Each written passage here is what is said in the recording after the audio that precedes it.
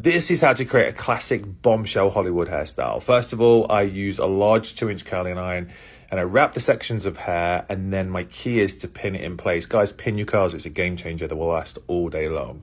Work it around the whole head. That's the most kind of painful part.